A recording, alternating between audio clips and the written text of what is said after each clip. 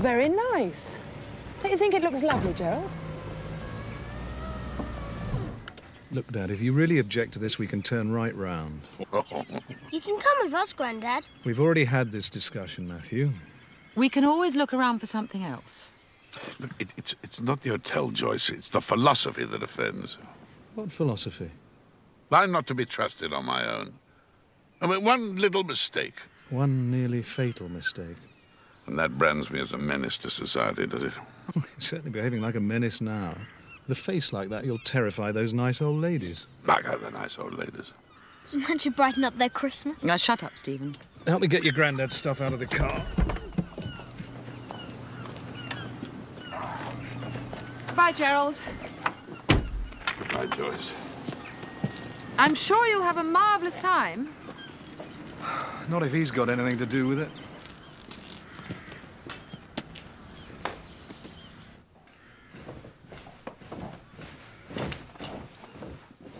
Well, I think this is very nice. Say goodbye to your granddad and wait downstairs, boys. At least it's a decent bed. You want to be coming with us? And what would I do on skis? Fall over a lot. Precisely. You mind you don't break anything. Oh, we've got Mum and Dad well insured.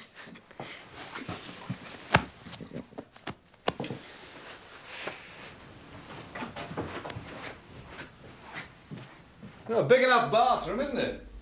Even got a shower cap, at least. I think it's a shower cap. Soap. Nice thick towels. Oh. Now, that is handy. A little sewing kit and something to polish your shoes with. Look. Oh, wonderful. I can't wait to sit in my bath, sewing my socks, shining my shoes, and wearing my shower cap. Dad, we really want you to enjoy this. We couldn't leave you alone, not after what happened. It was an isolated incident. Yes, well, there's no point in going over old ground. Absolutely. Well, I'll see you in two weeks then. Don't be surprised if I'm still sitting here. Then you'd be a damn fool. Places like this are bloody nice. Places like this are the equivalent of a kennel. When you go on holiday, pets go into kennels and elderly relatives go into places like this. You could have a very pleasant two weeks here if you weren't so determined to be miserable. I do not enjoy being surrounded by old people. Mr. Carmody, I'm Miss Glaistow, resident physiotherapist and general dog's body, and I always make it a point of greeting our guests and explaining the room. Oh, really? Have your guests so little experience of rooms? What is their natural habitat? The Serengeti, the Arctic tundra? My father's a little unhappy at being dumped, at least that's how he sees it. That's exactly how it is, Arthur. I don't mind accepting that fact, but I do object to your dressing it up as a little treat for the old man. Oh, Christ. Um, you'll see there are a number of push buttons here by the bed. There is a fairly clear guide as to what they all do, but some of our residents find it a little daunting at first. You can actually turn off the TV and the lights without ever getting out of bed. And if there's a problem in the night, or indeed during the day, there is a fully trained nurse on duty round the clock. This red button here will bring her to your bedside immediately. I'm throbbing with excitement already. Here's a real treat. Something you approve of at last? Rubber undersheets. I really don't think that's necessary in my father's case. Well, of course, we can easily remove them. I wouldn't dream of it. After 70 years of self imposed discipline, I can let my bladder run riot.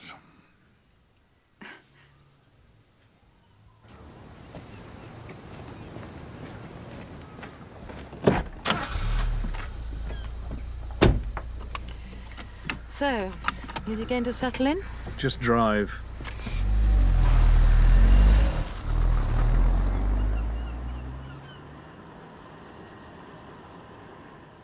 Almost finished. Likes and dislikes.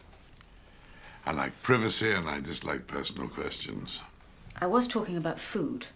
Some of our guests are on medication and have to be careful of their diet. I don't like sloppy boiled eggs. Anything else? Porridge. I hate porridge. What else do you hate? I've told you porridge and sloppy boiled eggs. All right. Is there anything you will eat but would rather not? Lots of things. Such as? Well, I can't tell you that now. Loads of things. Well, what springs immediately to mind? I don't know. Anything. All right, then dog shit. Sorry? I'd rather not eat dog shit, but if somebody gave me a million pounds, then I probably would. Very well. I'll leave you to get your bearings. Thank you.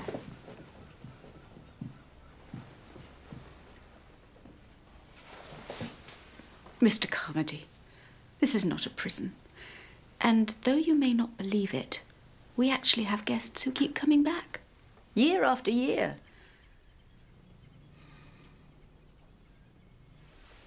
Tea is served in the main lounge at four o'clock.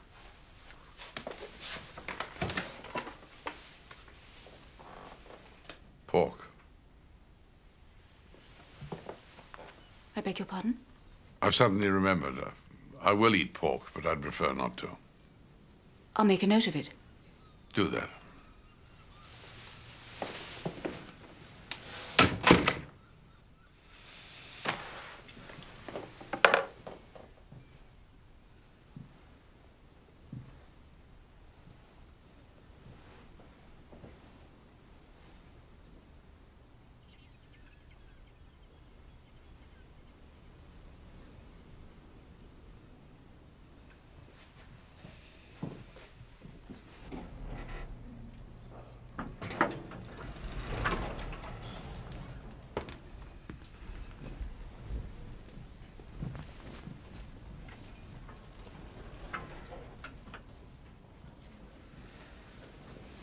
Can I help? Which way is the town? You mean the shopping centre? Is the shopping centre in the town? Well, there is a shopping centre in town, but it's not as near as the one off Downing Road. Are you driving? Walking.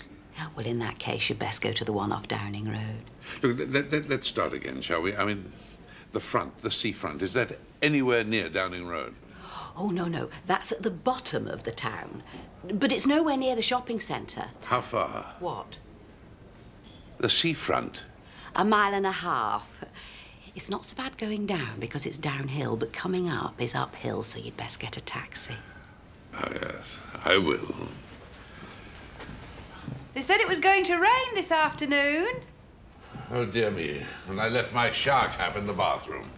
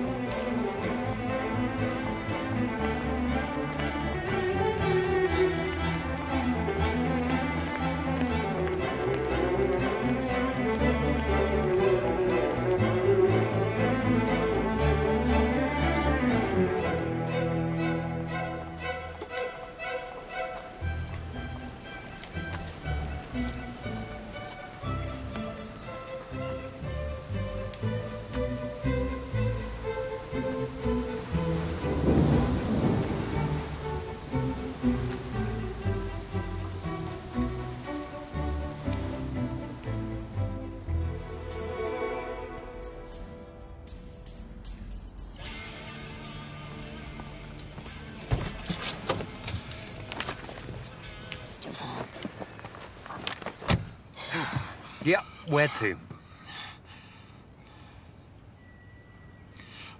I'm looking for an hotel.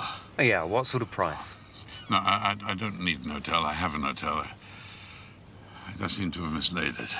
What's the name of it? What's it called? I don't know. What, you mean you've forgotten? I doubt I ever knew it. I wasn't paying particular attention when I arrived. And you don't know where you're staying? No. Oh, this is the first, this is. Can you give me a clue? It's a large, imposing building overlooking the sea. Well, there's about 15 like that in this place. It has a large garden. Hmm, well, they've all got large gardens. Look, just drive around, will you? I'll, I'll know it when I see it. Did you bring your room key? No. Well, have you got a receipt? No, nothing. Nothing.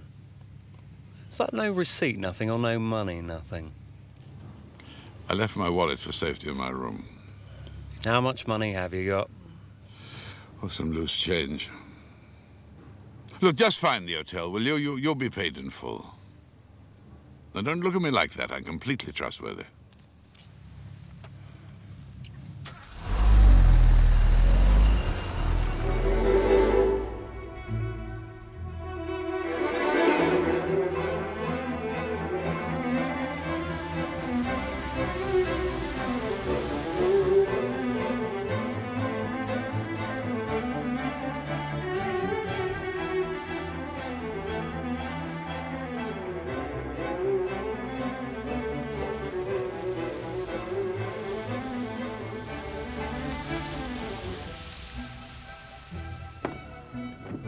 So, are you from London?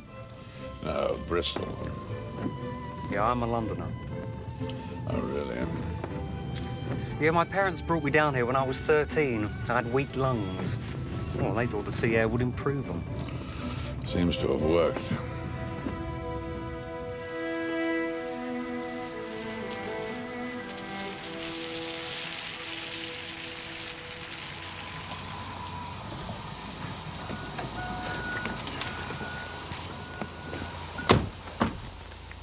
Course, the place looks quite different at night. Yeah, don't we all?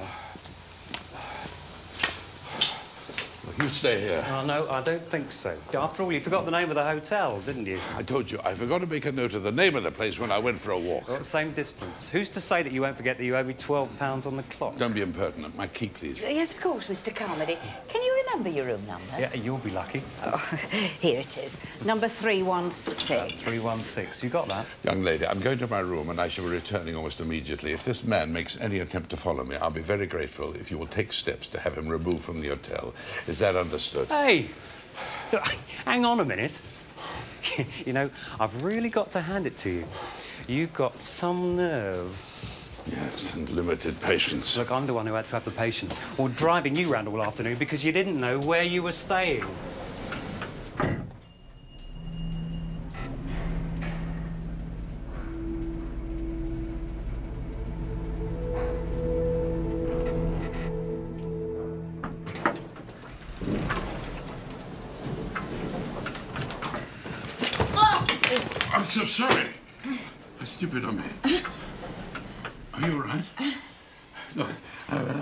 An idiot blundering out like that. You didn't happen to play rugby as a boy, did you?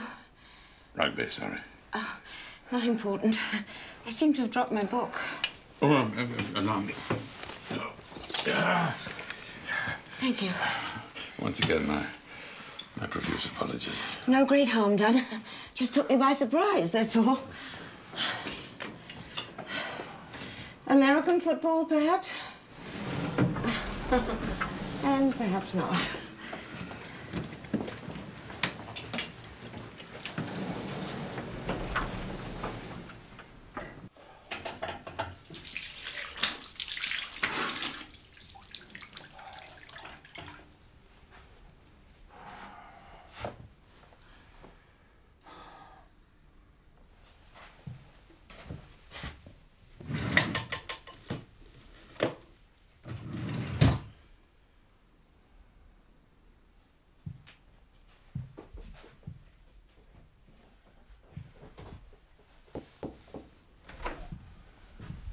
I thought I'd save you the trouble of coming back down. And the woman at the desk said not to worry. Well, it happens all the time, guests forgetting where they're living. But all these hotels look the same. Well, you know that. After all, you saw enough of them this afternoon, didn't you? Oh. Twenty, I've got change in the taxi. It's not necessary.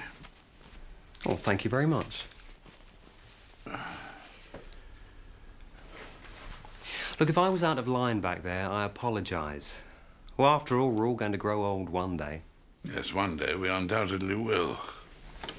Mr. Carmody, reception told me about your afternoon. I hope it wasn't too upsetting. Well, I'll be off then. Oh, thank you.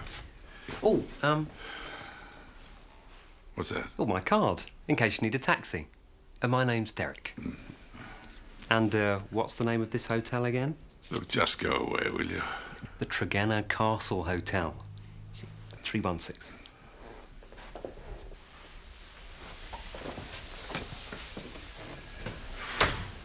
I'm afraid you've missed your dinner. Perhaps you'd like some sandwiches. Ah, I don't think so. I'm, I'm feeling a little groggy. Oh. Well, in that case, I'll leave you to rest. What kind of sandwiches? Ham, roast beef, cheese. Could, could you do roast beef with horseradish sauce? I think we can manage that. I'm not hungry, you understand, but uh, I might get peckish later on. Of course. And, um, Miss... I'm sorry, I've forgotten your name. Miss Glaister. Miss Lester, I, I'd be very grateful if nothing was said about my little jaunt this afternoon.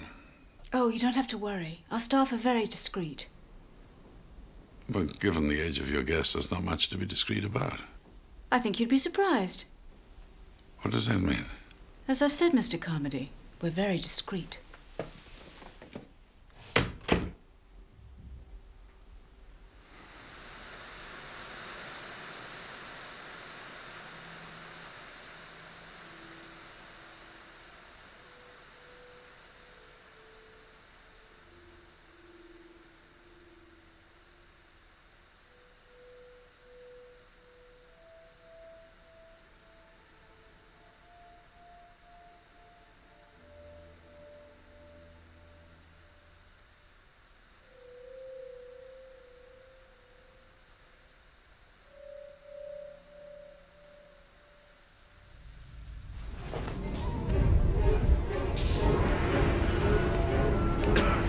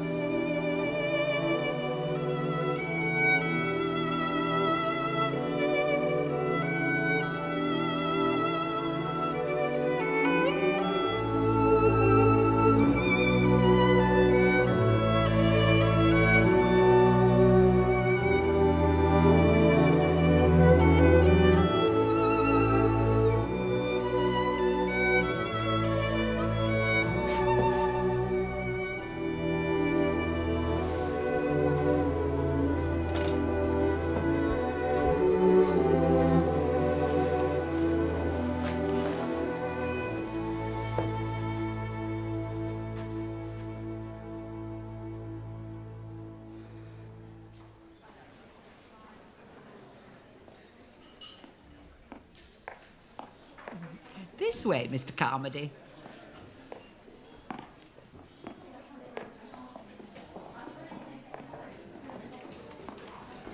This is table four, and I think you'll find it very pleasant.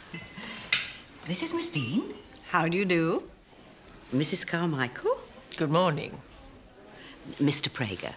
Welcome. The vacant chair belongs to Mrs. Palmer, who I'm sure will be joining you shortly. Table four, this is Mr. Carmody. Morning. Oh, before I go, I would just like to mention my lecture programme again. If any of you would like to give a little talk about your life or your work, there are a few evening slots available next week. I'm down already to talk about patchwork quilts. That's Tuesday, isn't it? Yes, Tuesday. It's really male speakers we're short of. What about you, Mr. Prager? You couldn't print my experiences, let alone speak about them. I really meant work experience. Those you wouldn't be interested in. I'm sure you're just being modest. For 40 years, I was the biggest manufacturer of elastic in the East End. Well, that's fascinating. What elastic keeps up may be fascinating, but the stuff itself is dull. It stretches, it shrinks. What more is there to say? And what about you, Mr. Carmody? No, out of the question, I'm sorry. Well, do give it some thought, won't you? Enjoy your breakfast. Excuse me, Oh, may I? awfully sorry. Thank you so much. Will you be with us for Christmas, Mr. Carmody? I sincerely hope not. Oh, but it's very nice here, especially at Christmas. yes, I'm sure. Don't have the bacon. I beg your pardon. Better you should chew my elastic. Mr. Prager's from Yugoslavia. And you are from? Bristol. But before that, what part of Europe? Godalming. Miss Dean's from Shrewsbury, and I'm from Milford Haven. Oh, indeed. I'm not Welsh, but my husband was in the Fleet Air Arm, and we were stationed there. Fell in love with the district, so naturally, when he retired, we moved back. Hmm.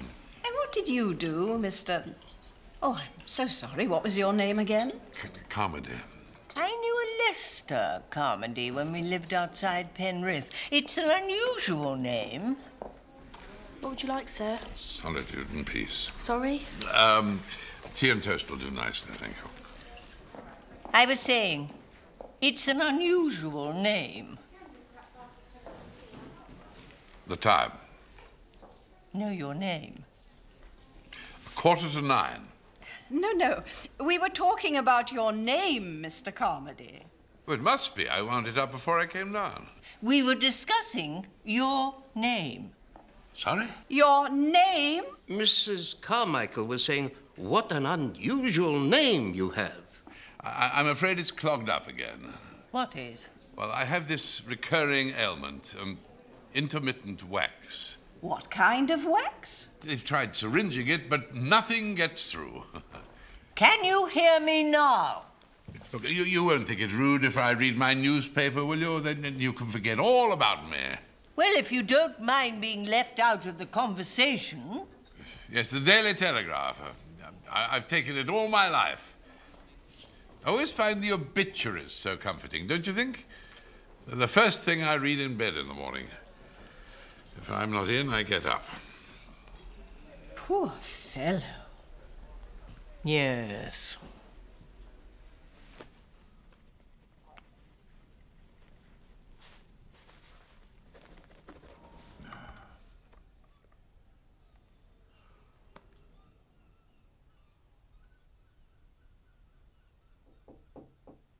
Yeah? I'm sorry, sir. I left it as long as I could. Oh, you want to do the room? I won't be five minutes.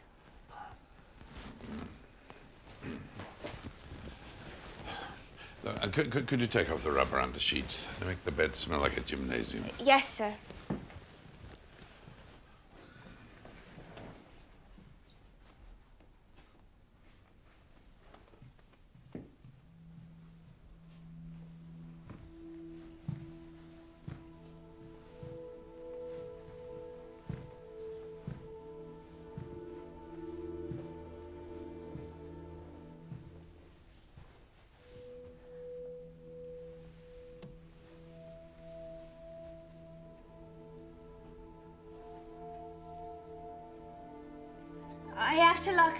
Sir.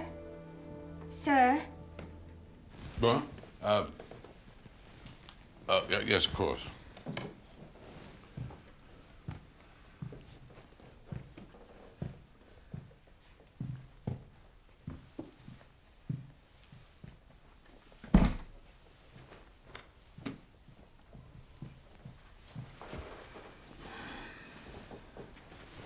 I'm in your way, aren't I? I'll only be a few minutes more. No hurry, no hurry. I think a walk. Yeah, will do me good.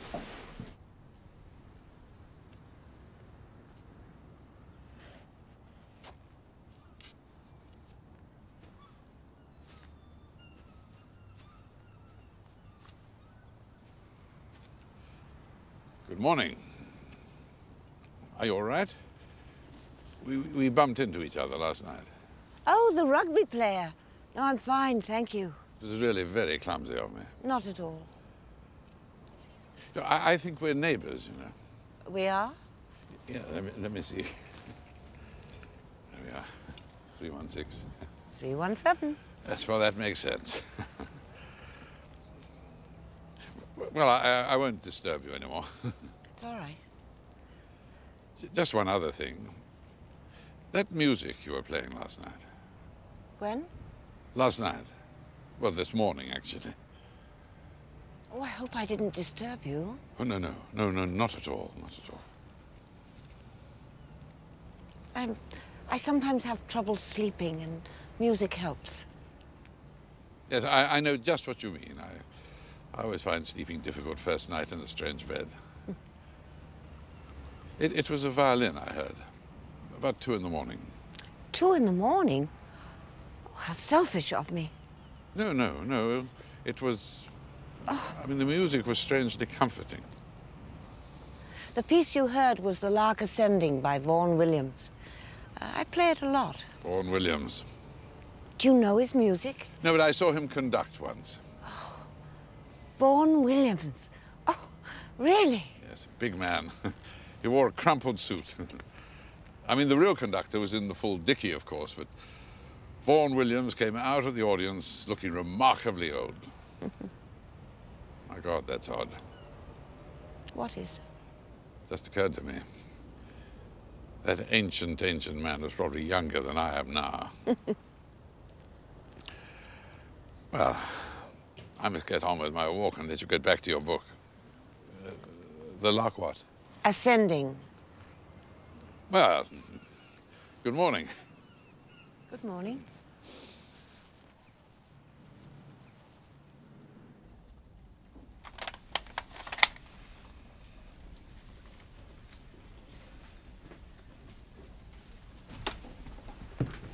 Sir, Yeah? I've checked in the storeroom. Um, oh, we don't do these, I'm afraid. You best try where you bought it. Well, I bought it years ago. How can I be expected to remember that far back? Well, the new ones are just as good, and they're very cheap. Just chuck them away when they're finished. I don't want a new one. I'm attached to this one. He knows his way around the telegraph crossword better than I do. Well, I don't want this either.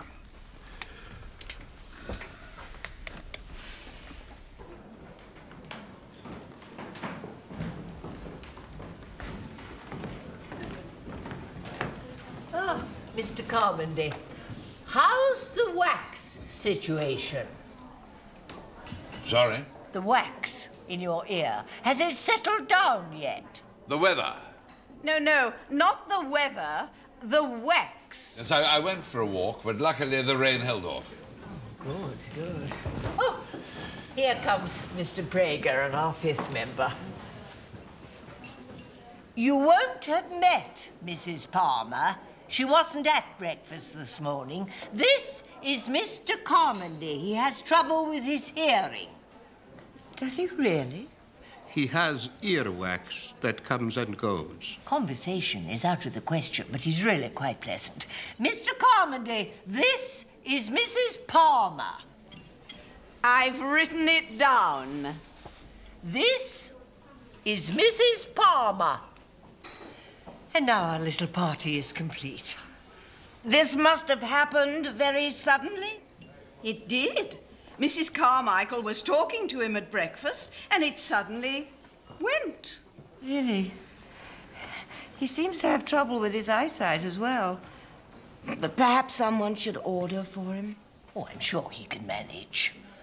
You don't want anyone to order for you, do you, Mr. Carmody? You can manage, can't you? Um, Mrs. Palmer is asking if you wish someone to order for you. there is no need to shout. My condition is not too bad at the moment. Ah, so the wax has waned. I'm so sorry. It must be dreadful to be deaf, uh, particularly when you're so fond of music. Is he fond of music? Are you fond of music, Mr. Carmody? Muesli? No, no, no, no, I'm not particularly fond of muesli. Mrs. Palmer. Actually, I'm afraid. I'm so sorry. I'm. I'm.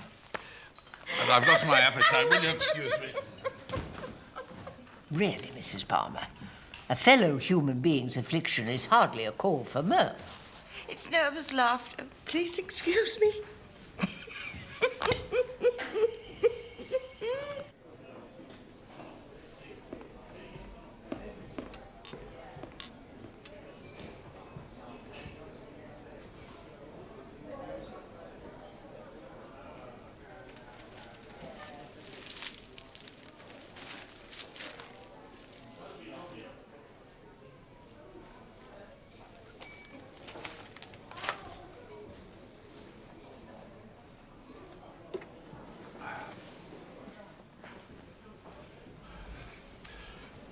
Forgive me for saying so, Mrs.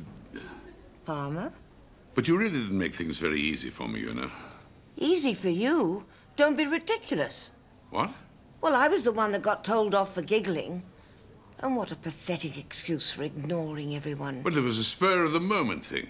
I mean, that Mrs. What's her name never stopped talking. I'm afraid I'm not very good in the mornings. Neither am I. Yes, I, I really don't quite know what to do about it, this deafness thing. It's becoming a bit of an embarrassment. I should have a miraculous recovery if I were you. Otherwise, we'll all have headaches from shouting at each other. Good book. A guide to the myths and legends of the area. My faithful companion. You're down here alone, are you? Yeah. Your husband not with you? Oh, my husband's been dead for many years. Well, so's mine. Well, my wife, I mean. Well, not, not my husband. Naturally enough. well, was that your husband in the picture? What? The photograph in your room? You were in my room? Well, I, I mean, they were cl cleaning our rooms, and so, so I stepped outside for a minute and absentmindedly s- stepped into yours. It, it, it was only for a second or so. Oh. No. Sorry. The picture was not of my husband. Interesting machine you have with, with the tapes. Oh, my ghetto blaster. well, that's, that's what my nephew calls it. Music means a lot to you, Yeah. I played and taught piano for years. really. Yes, my wife played the piano. Very badly. Oh, I'm sure she didn't. Oh, she did, but with great gusto. We used to keep the piano in the box room, and she'd go on in, she'd shut the door, and she'd bang away. it was exactly the right sound level. It muffled all the wrong notes, but the gist of the thing got through. And you like a good tune, don't you? Ah, yes. Give me something you can whistle. Do you do a lot of whistling? well, not out loud. Mentally. And how did you make your millions, Mr. Carmody? I didn't make millions. No, you look very prosperous. I didn't do badly. At what? Stockbroking. Oh, so you're a stockbroker.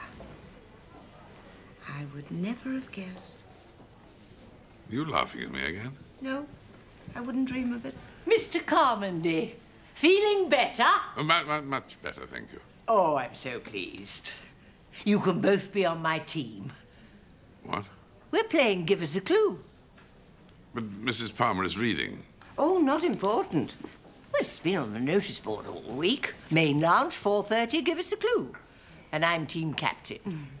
How are you now, Mr. Carmody? They're both going to be on our team. Oh, I hear you're going to be on our team. He can hear you now, Miss Dean. I'm, I'm, I'm- I'm really quite hopeless at this sort of thing, you know. Now, no false modesty, Mr. Carmody. You're going to be a great asset. All that miming you have to do when you're deaf. It's really very easy. You must have seen the television program. Uh, this is a book. Uh, this is a film. A play. A television show. and then we break it down into words and then into syllables. Uh, this is words, and this is syllables. I, I really can't do this. It's just charades under another name. I'm sorry, but I'm, I, I'm no good at making a fool of myself. Oh, I'm sure you'll manage beautifully. Very good, well done. now, I think we'll give this one to. Mr. Carmody. Um, I, I really can't do this. you know. Oh, have a go. Or I'll tell Table 4 what a fake you really are.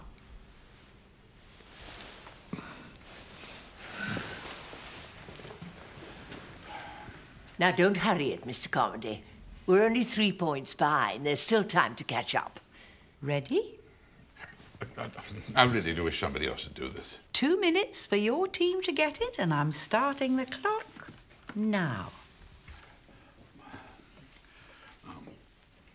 Come on. Come on, Mr. Carmody. Don't just stand there. Is it a play, a book, or a film? A film. Half a point off for talking. No. No talking, Mr. Carmody. If it's a film, it's this. Oh, it's a film. Oh, film. How many words? Four. Four words. Now, first word. How many syllables? One. I'll have to penalise you again if you persist in talking. Can you mime it? Can you mime the first word? Does it sound like anything? Uh, um, uh, does it rhyme with anything? Well, it must sound like something. One minute gone. Well, don't just stand there. Do something. The second word. The second word. Second word. Well, the next word. Any word. Fourth word. Do you mean the fourth, Fourth word? word. Fourth word. Blow. Glass blowers. 30 seconds left. Um, um, Hair dryer. trees. Bend. Keep fit. Breathless. Blowing, blowing. Ten seconds left. Wind. Fourth word. Wind. Gone with the wind. Yes! Just crept in under the bar. That's five points minus half a point for talking, makes Mrs. Carmichael's team one and a half points ahead. Now it's uh, Mrs. Wilkinson. Well done, you two. Well guessed. I'd be very careful, Mr. Carmody. My. Well, you might start to enjoy this kind of thing.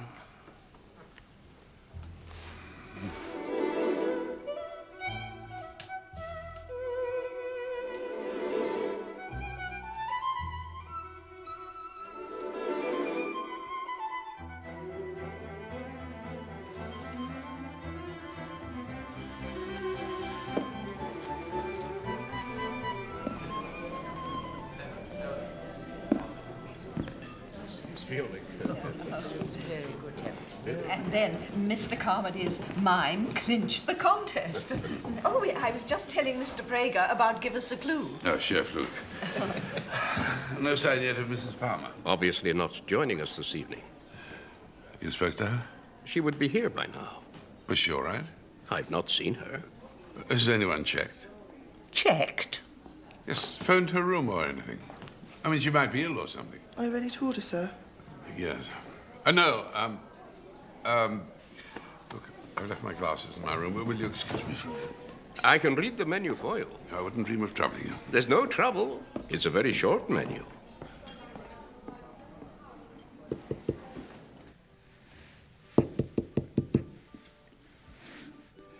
Uh, Mrs. Palmer? Oh. Are you all right? Yes, of course. Well, I, I noticed that you weren't at dinner. No, uh, I signed up for the outing tomorrow, so I thought I'd have an early night. Oh, yes, the outing tomorrow. Where are we going again? You signed up for it too? Well, anything to get out of this hotel. St. Michael's Mount. Oh, yes, of course, St. Michael's Mount. Yeah. Well, see you tomorrow then. Vaughan Williams? Poulenc. Poulenc. Oh, yes, of course, Poulenc. I've never heard of him. Well, good night, Mr. Carmody. Good night. Poulenc.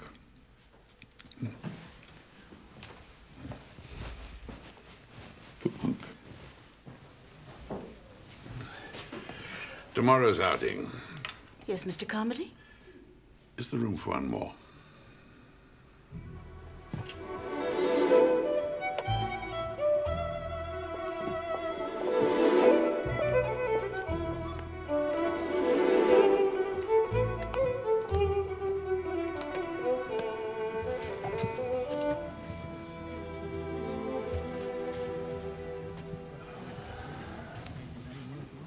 Oh, Mrs. Uh, Oh, Palmer. oh, yes, of course, Palmer. I almost walked straight past you. Um, are you planning to travel with anyone? Only with the rest of the coach. I mean, did you plan to sit with anyone? No, May I? of course.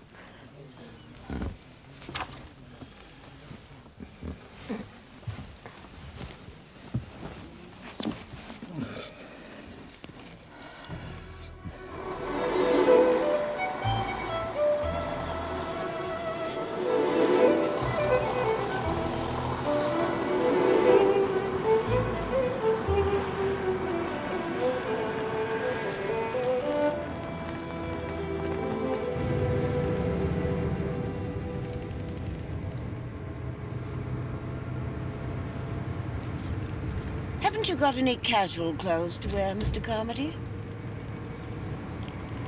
This is a lightweight woolen suit. I mean, it's not casual, perhaps, but it's very comfortable. Haven't you got an anorak or something less formal?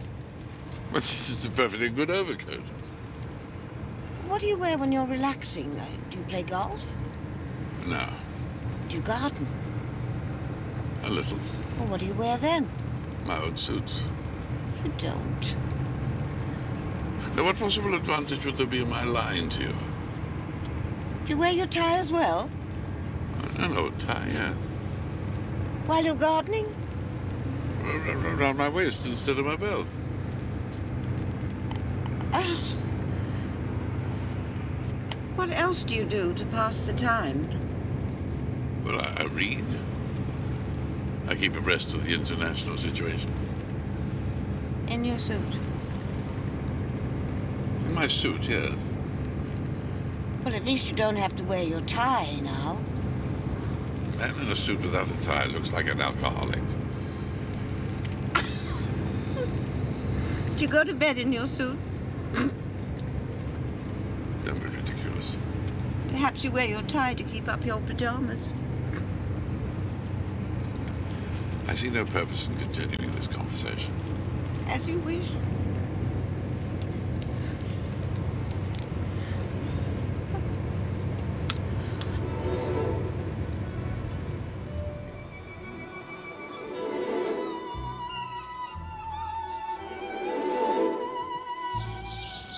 St. Michael's Mount, where the ancient Greeks traded for gold, copper, and tin with the Celtic tribes of Cornwall and Ireland. For those of you undeterred by steps, we shall be visiting the battlements on top at the conclusion of the tour. So, if you'd like to follow me, please keep close together. I don't want to have to shout.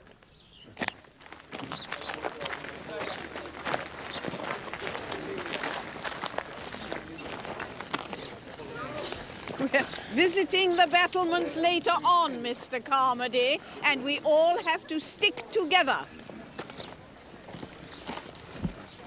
Are you hearing this, Mr. Carmody? Yes, yes, thank you. You really don't have to shout, you know. He's quite cured. Well, that's what we thought, Mrs. Palmer. But last night when he returned to the table, he had a relapse. Did he? Yes, well, look, I, I've been given drops by the local doctor, and they're quite miraculous. Oh, that's wonderful news. I'm assured the condition will not recur. Well, quite frankly, I believe you owe this to Miss Dean. Miss Dean? Well, I know she'd be most upset if she knew I was telling you, but she's been praying for you. How very kind. Never underestimate the power of prayer, Mr. No, no, I wouldn't dream of it.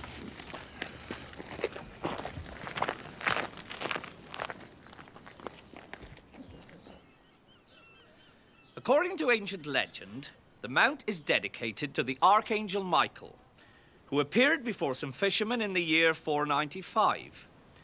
It then became the hallowed place of countless Celtic saints. It is also connected with the romantic legend of Tristan and Isolde. The hermit Ogrin was sent here by King Mark to buy for Queen Isolde her wedding gift of finest silk. The present castle is built on the foundations of a Benedictine priory, built by the monks of the Abbey of Mont. You sat on the bus with Mrs. Palmer. Yes. Very beautiful woman. Striking. Don't you agree? I really hadn't noticed. Oh, come now, Mr. Carmody. Don't pretend you haven't got her in your sights. What are you talking about? You and I have the European approach to women. I'm not European, I'm British. We are both hunters. It wouldn't do for us to stalk the same duck, get in each other's way, and then go home empty handed. How dare you? Say the word, and I will not pursue her. Pursue her, you ridiculous little man. Then you are interested. Interested? I'm. I'm outraged. For why?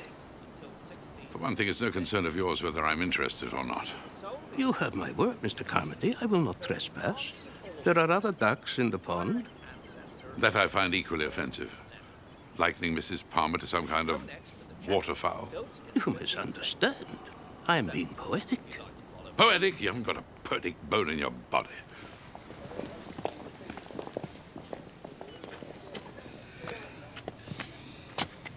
What's the matter now? You've a face like thunder. I doubt you want to hear. I wouldn't have asked. That wretched Prager man had the temerity to suggest that he and I were competing for your affections. Are you? Certainly not. And if I've given any impression to the contrary, then I apologize. Do you think Mr. Prager will make a play for me? He undoubtedly intends to. Cool. How can you accept such a thing? Oh, poor Mr. Carmody. You don't have much fun, do you? Fun? Well, life is essentially ridiculous. Once you understand that, you can start to enjoy yourself. Now, come on.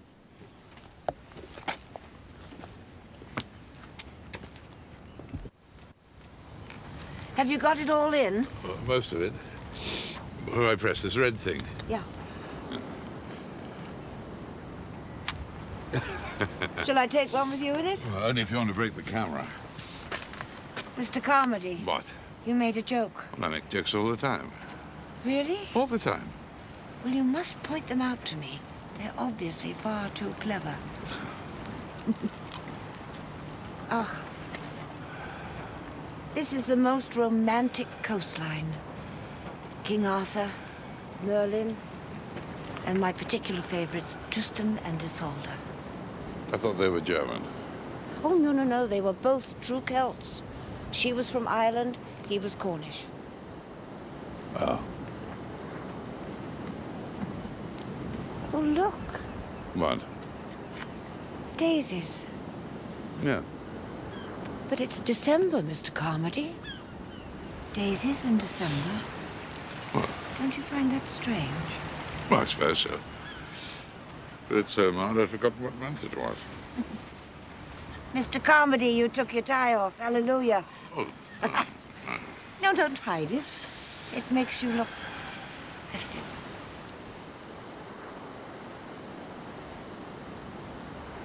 Could we sit down for a bit?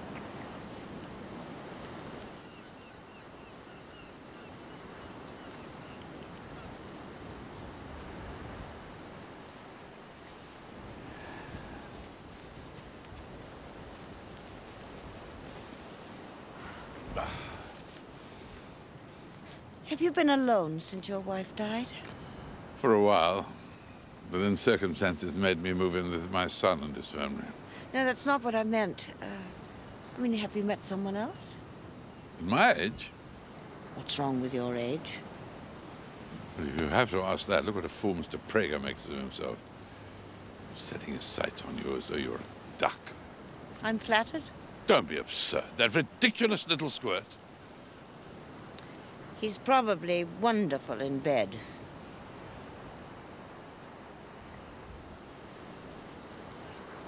I really think it's time we went back to join the others. All right. Ah, What's wrong? nothing. I got up too quickly. It'll pass. Should I get help? Just give me a moment.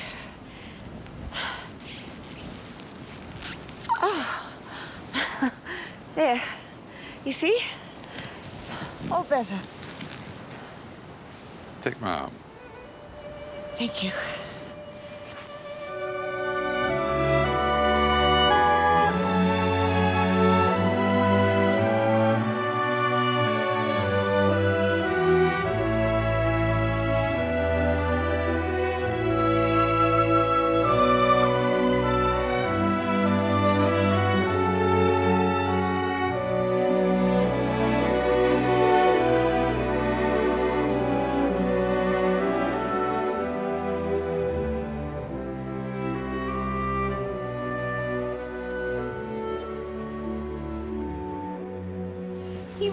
Little coarse, perhaps, but very informative.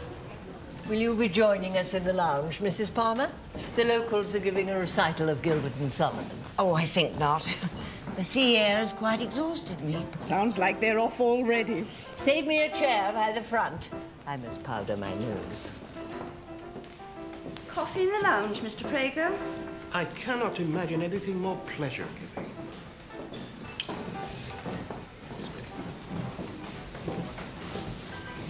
I see the duck season is in full swing. You, you don't fancy Gilbert and Sullivan? Another time, perhaps. You know, I, I, I, I rather enjoyed our conversation this afternoon. So did I. Well, I was just wondering if you'd care to continue it, so to speak, over dinner tomorrow evening. Oh, Mr. Carmody, are you asking me out? Well, it's difficult to get a word in edgeways when Mrs. What's her name starts talking. oh, I, I'm not setting my sights on you or anything.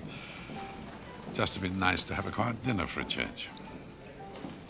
You do realize that if neither of us turn up, table four will be a hotbed of gossip and supposition? Bugger table four. Oh, I'm so sorry. Oh, no, no, it's all right. Bugger table four.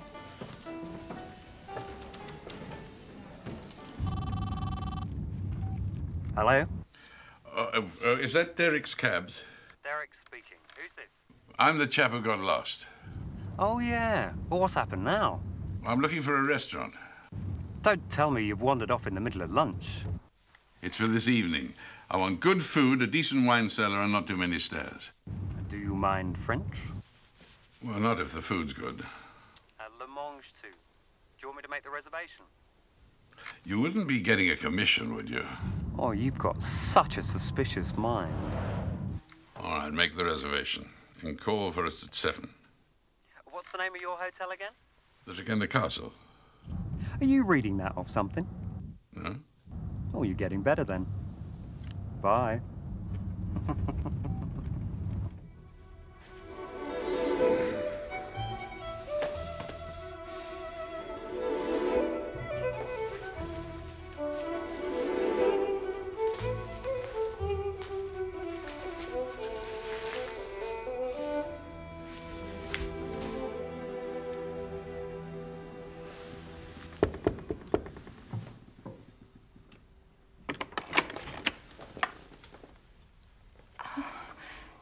Mr. Carmody, you've gone too far.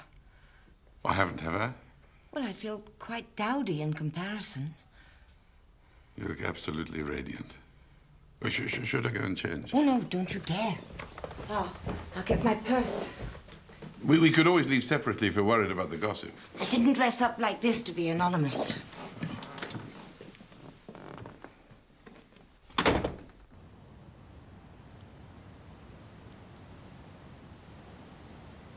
Lardy, bloody da.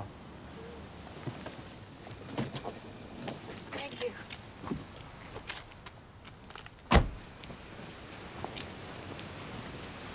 I don't wear this hat for everyone, you know. I'm sure everyone is very grateful.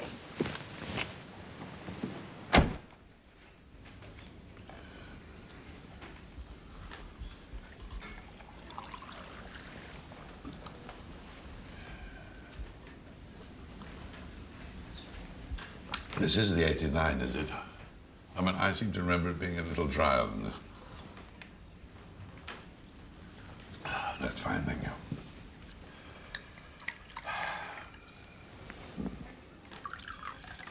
Ah, to the loveliest woman in the room. Thank you, Mr. Carmody.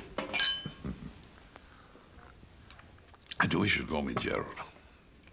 All right. I'm Catherine. Yes, I know. I sneaked a look at the hotel register. Did you now? Uh, was all that genuine? Well, of course. Only my husband used to make a great production of sniffing the cork, swilling it around, gargling. Oh, I, I didn't mean to imply that you were as phony as he was. Was he? Well, not in every department. I don't mean to pry. Oh, it's all right. Women found him very attractive, and he invariably found them irresistible. I see. I put up with the excuses and the lies for as long as I could. There were no children, but a marriage is a marriage. Oh, God. This is so strange. What? Well, I've never told anybody about this before. And Mr. Carmody was a most unlikely confidant.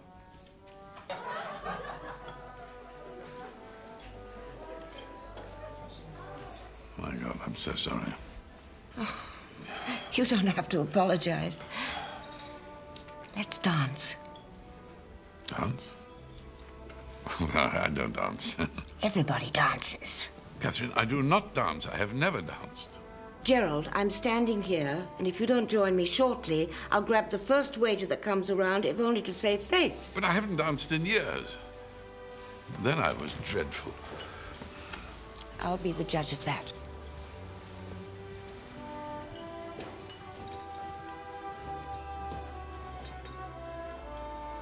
Hand here. The other one here. Now, try not to fall over. I'm not as bad as that.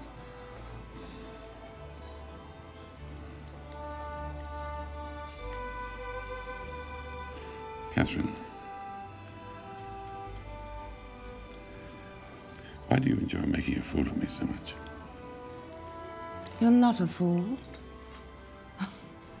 Besides, who's watching? If anyone were. They'd think, lucky man, that a gorgeous woman like me should shuffle around the floor with such a terrible dancer. Then why do you make me do it?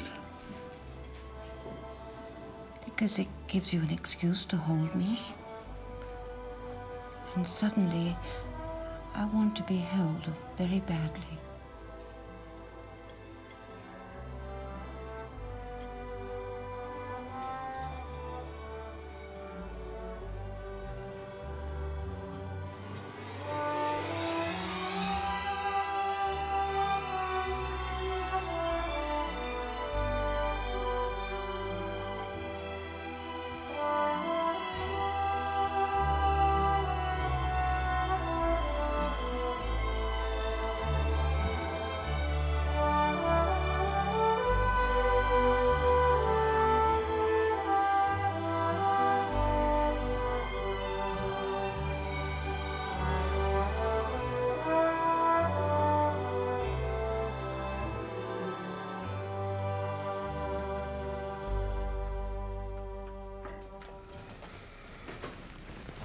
You know, with a bit of practice, you could be a very good dancer. I don't think Fred Astaire need worry.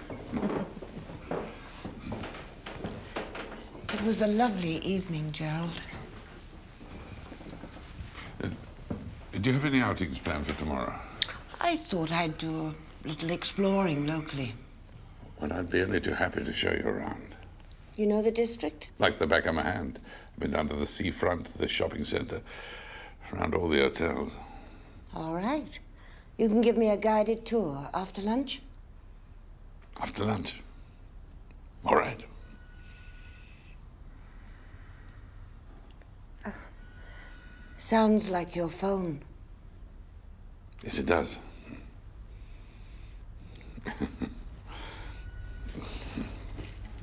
Good night, Fred. Oh, yeah. Good night, Ginger.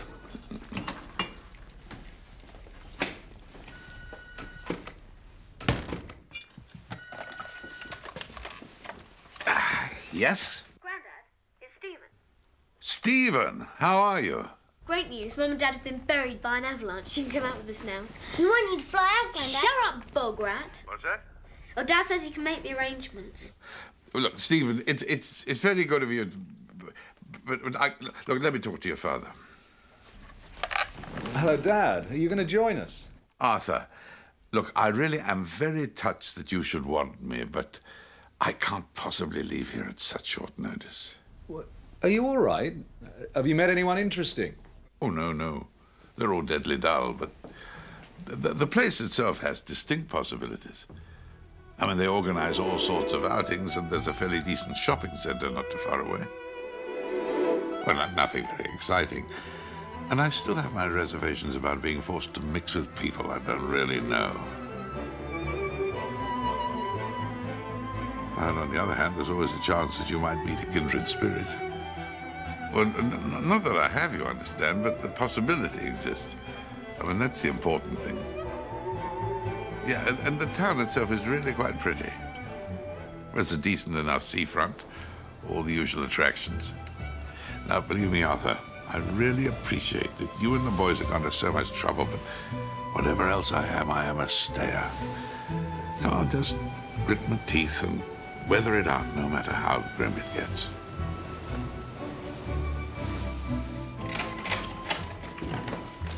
Catherine, Yes, you don't know where the TV lounge is, do you? I haven't looked for it. Well, I just happened to notice a brief encounter is on this evening. The film? Yes.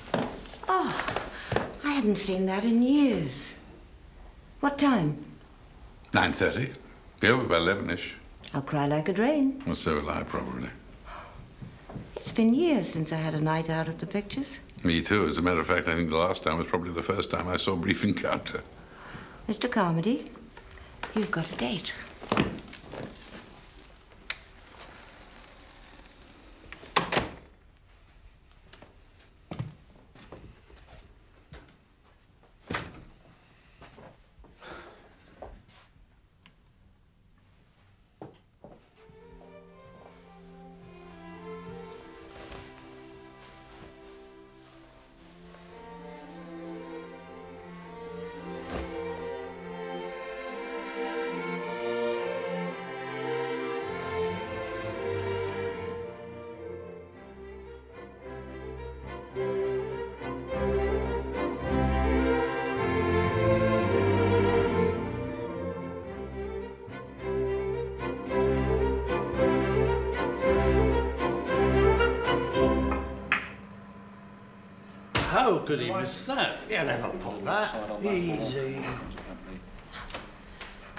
Johnson, Trevor Howard. Fat chance. What a pillar.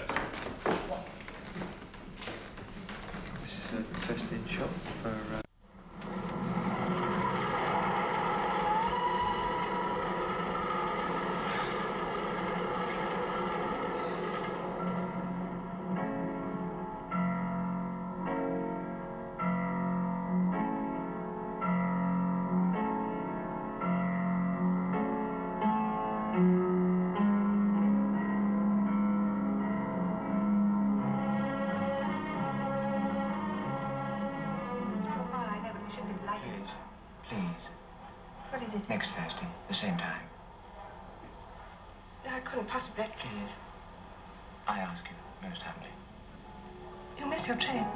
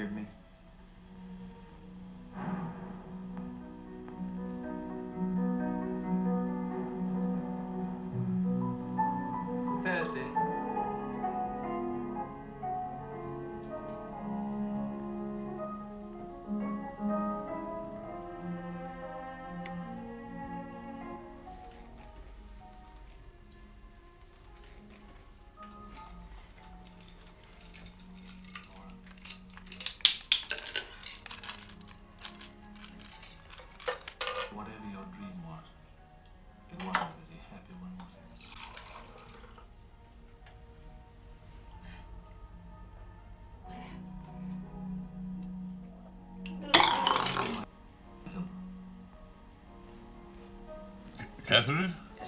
Well, you certainly enjoyed that. Oh, Did I not offer? Well, not that you'd notice. See you in the morning. Good night. Catherine,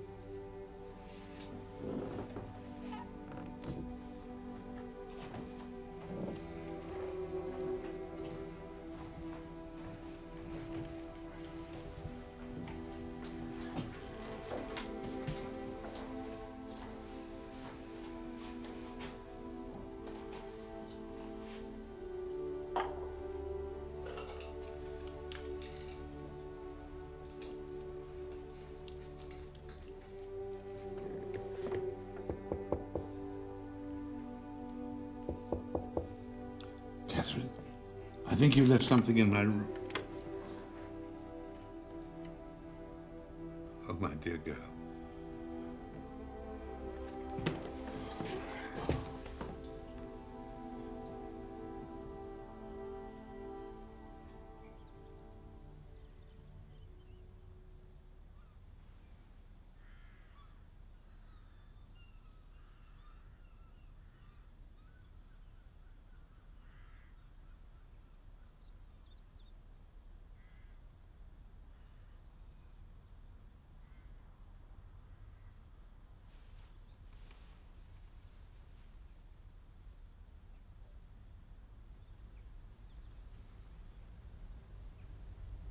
Time is it? I don't know.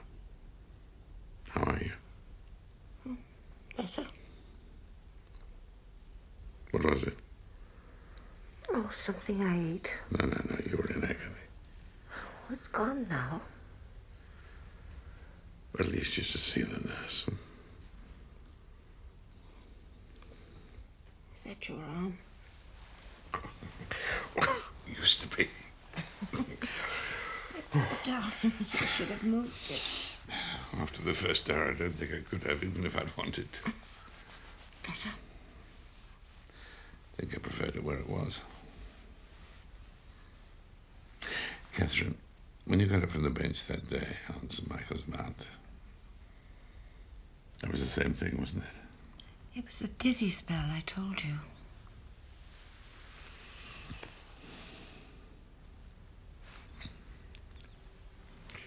Catherine, I'd, I'd rather you didn't. What happened? Well, I was in a fire. It, it looks much worse than it is. Anyone else involved? No, no. Only me. My house, my responsibility, my my stupidity. Put a pan of water on to boil an egg. I looked out of the window. I hadn't touched the garden for months after Margaret died. But it was spring and the weeds were coming up through the lawn, so down I went and I set to work. Of course, the water in the pan went dry. And set fire to an oven glove dishcloth or something. Kitchen caught on fire. By the time they arrived, the whole house was ablaze. I tried to. I tried to get, get it in. I tried to rescue things. But it was too late. I, everything went up in flames.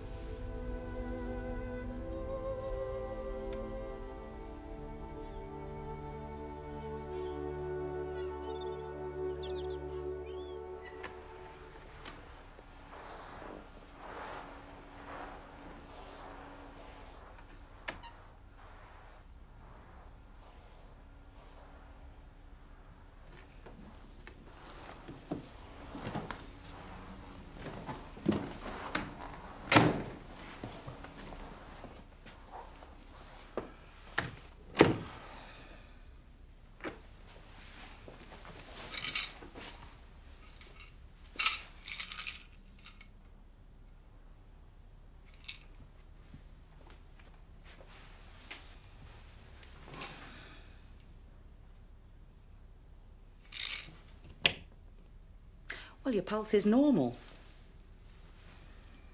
Nothing out of the ordinary there either. Stomach cramps, you said. Crippling.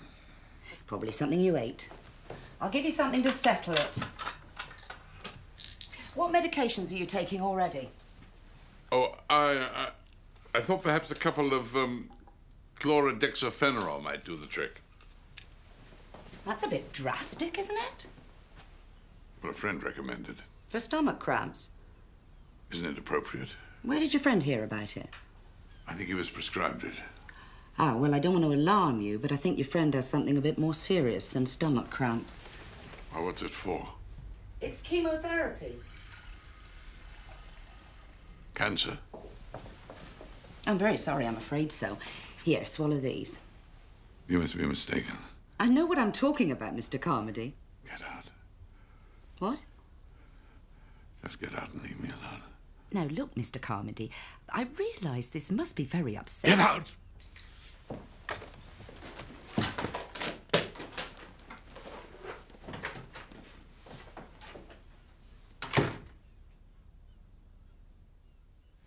I lost my temper. I'm sorry. I'll make the nurse a full apology. All right, I'll patch it up with her. On one condition. What? I still have no takers for the Friday talk slot. Oh, no, really. Oh, look. Lots of our guests have stocks and shares. I know they'd love to have the benefit of your expertise. It's just for half an hour. All I have to do is answer a few questions. Yes, that's all. Very well. Oh, wonderful. 2.30, main lounge Friday. In return, I want to ask a favor of you. You're a man of business, all right. What is it? When my son signed me in here, he must have filled in some sort of form concerning me. You want to see it? No. I'm talking about Mrs. Palmer. I'm sorry. Information about other guests is strictly confidential. You must understand that. Yes, of course, of course, I, I do understand, but these are exceptional circumstances. In what way?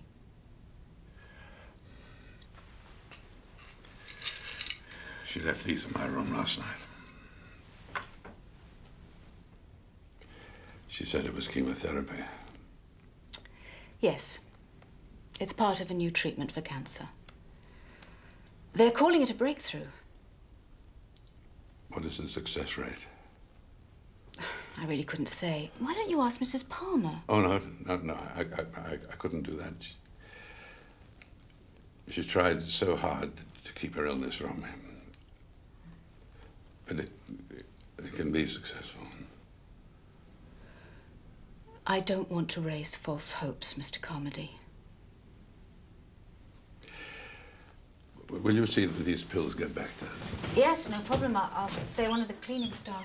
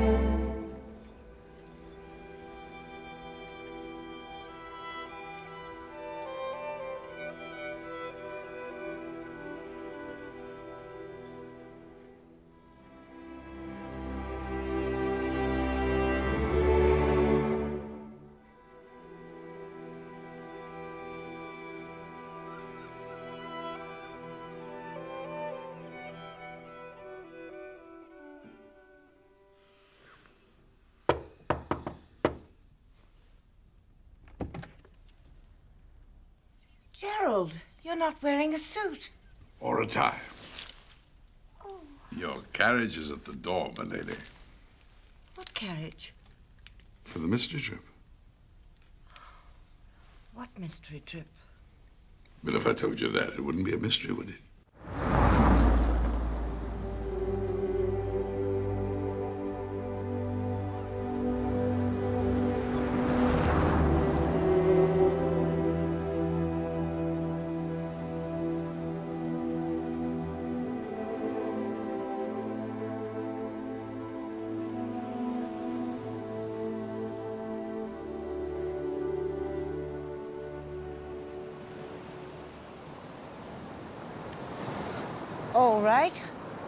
What are we looking for? You haven't read your guidebook very carefully. Somewhere out there in that bay, your hero Tristan fell in love with Isolde. Now, according to this, he was sent to Ireland by his cousin King Mark to bring Isolde back here to be the king's bride. But on the voyage back, they fell in love. I know. They drank a love potion by mistake. Oh. Well, don't you find that romantic? Well, I suppose so, but uh, if it was a magic potion, then it was out of their hands. What about lesser mortals like you and me? And how can we be sure that it's love? It might be something more explicable, like senile dementia. oh, sun's almost gone. well, it is December after all. Don't let the daisies fool you. You know, I think it wasn't some magic potion that made them fall in love. I think it was the sea voyage. What are those? Isn't Catherine. I've managed to book the last two cabins on a Christmas cruise of the Bahamas. We fly to Florida on the 22nd and sail off on Christmas Eve. You've gone mad. It's the sanest thing I've done in years. Oh, I can't accept this. It's entirely selfish, I assure you. G Gerald, No, no, listen, Catherine. Listen, I'm 73 years old. It's over half a century since I last fell in love. Even then, I wasn't absolutely sure because I got nothing to compare it with. You no, no, no. you don't understand. Please, let, let me finish. I don't know much about ecstasy or great passion or, or the stuff of legend. But if being in love means not being able to get you out of my mind and wanting to be with you for every second of every day, then I am in love with you. There's no doubt about it, I'm sorry. You know nothing about me. I know enough. I've spent the most wonderful few days with you. I wanted to go on. You'll have to give me time to think. Of course.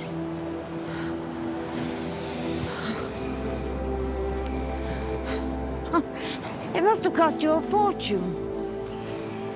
It means spending time alone with you, it's cheap at any price. Can you get your money back if I can't go? Of course, I'm no fool. They told me that if I called them by five o'clock this afternoon, I'd get a full refund. Damn, it's five past. C'est la vie.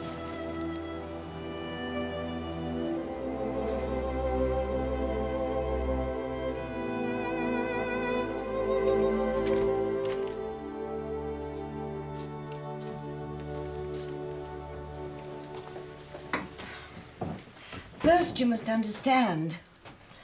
The decision isn't entirely up to me. You know, I've been ill recently, and uh, it wouldn't be fair to say anything without checking with my doctor. The Caribbean. Come on, he's bound to say yes. Oh, Gerald, it would be wonderful. Christmas in the Bahamas. oh, dear. Excuse me.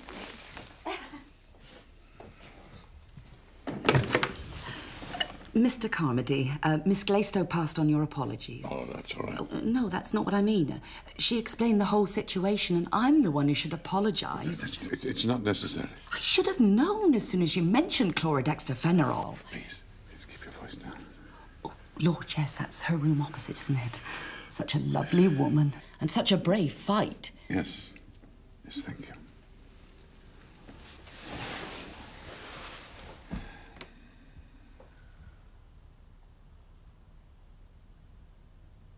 You know, It doesn't make any difference. difference. Of course it makes a difference. Gerald, I have cancer. But you're on medication and it's working, isn't it? At the moment. But it's like a pendulum. Any day it can swing the other way. But it may not. Look, we, we must take each day as it comes. Look, it's, it's just a cruise, Catherine. You and I know it's more than that. And you wouldn't have suggested it if you hadn't found out. I don't pity you, Catherine. I love you. Listen, Gerald. The treatment seems to be working, yes. But if it doesn't, my specialist has been wonderfully informative about the days I have coming to me. And uh, I wouldn't want to share them with anyone. Especially someone as loving and as kind. Catherine. Catherine.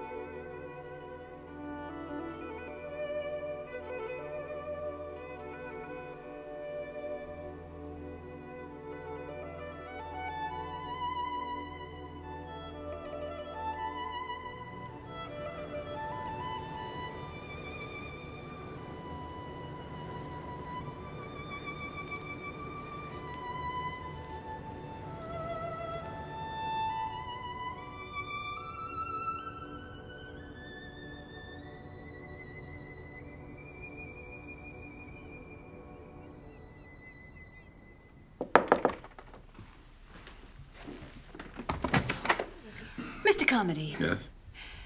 are you fit? I looked for you at breakfast or lunch, but you've been keeping to your room. We're expecting quite a turnout. Uh, You're not going to let me down, I hope. I'll be there. Main lounge, ten minutes, all right? Ten minutes. Is the trip down nice? Yes, I think straight over Bodmin Moor.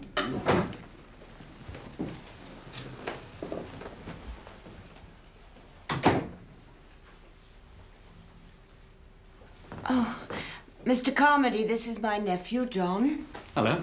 Mr. Carmody and I have been on a number of outings together. What's happening? Uh, John came to pick me up a day early. Why? I'm afraid my conference was an absolute washout. Frankly, I wasn't willing to waste the time. I thought you were here until the weekend. I'm not. I'm not upsetting anyone's plans, am I? No, of course not. Mr. Carmody understands. You can't. You can't. Gerald, please. Look, I, I don't mean to interfere, but I think my aunt wants to be left alone to pack. Why don't we go and have a drink? Why don't you mind your own business? Why don't I? I'll wait in the lobby, shall I? No, no need for that. I could do with your help, actually. Catherine. I know why Mr. Carmody is so upset. Uh, he's giving a talk on stocks and shares to the guests, and uh, he was rather anxious that I should be there. I'm sure we have time to listen to a bit of it. Any minute now, isn't it? So you're an expert on stocks and shares? It was my profession. I'm in securities. Same but different. What's this? Plonk. What? My Poulenc tape. To complete your musical education. It's, uh, after 2.30. Well, we'll just finish packing, and then we'll be right down. I'm not sure we'll be able to stay for all of it, but I could certainly do with a few tips. We'll say goodbye now. Have a wonderful Christmas, Gerald. And thank you for everything you've tried to do for me. Well, check the bathroom.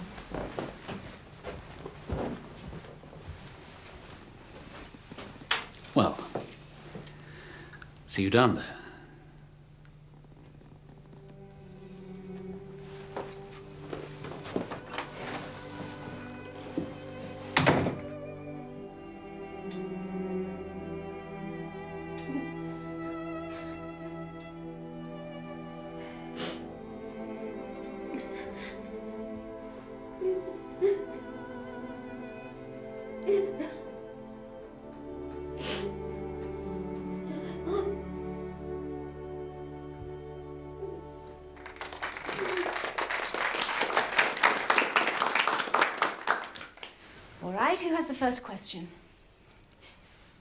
Yes, Miss Dean.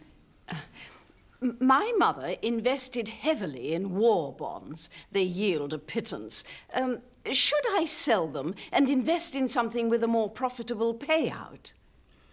Mr. Carmody? Yeah, your, your mother didn't buy them for profit, Miss Dean. She bought them to help the country. They're what you call perpetual bonds. They're more an act of faith than an investment. But supposing I wanted to sell them, There's very little market for them, I'm afraid. I mean, they'll keep paying out to your children and your children's children. but I don't have any children. Well, thank you, Miss Dean. And who's next? Mrs. Carmichael. I've been advised that my portfolio contains too many blue chip stocks. Consequently, I should add a few high risk ventures. My question is how high is high risk?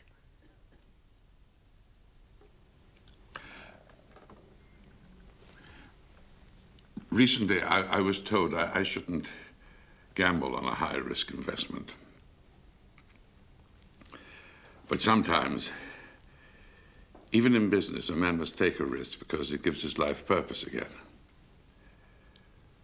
I mean, others, the, the bright boys may say, forget it, there's no future in it. But there's no use in telling him that because there's no future without it either. They're talking to a man who's found a reason to believe in himself again. Let's follow it through. Despite the risk. Despite the possible heartache. Because that too is part of the bargain. Part of the commitment. And there's every chance it may work. But even if it doesn't, he will be happy to invest whatever he has for as long as it takes. Because he knows the joys are everlasting.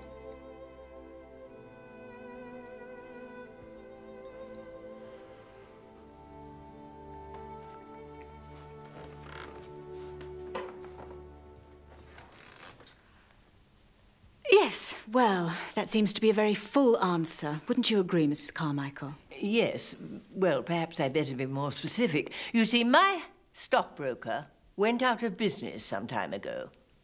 But on his recommendation. Excuse me. I-